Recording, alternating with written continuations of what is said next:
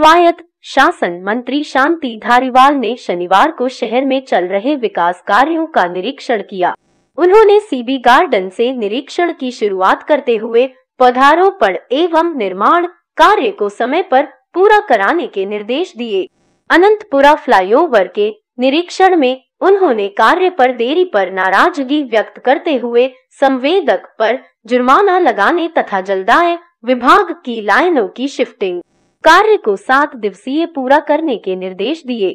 City mall के सामने elevated road के निरीक्षण में उन्होंने टाइल्स एवं सौंदर्यकरण कार्य का निरीक्षण किया। टाइल्स की गुणवत्ता के साथ कलर कॉम्बिनेशन के संबंध में निर्देश दिए। उन्होंने कहा कि सभी जगह फ्लाईओवर एलिवेटेड रोड पर टाइल्स गुणवत्तापूर्ण लगाई जाए। डार्क कलर पैरों पर पेंटिंग कलर के संबंध में निर्देश दिए।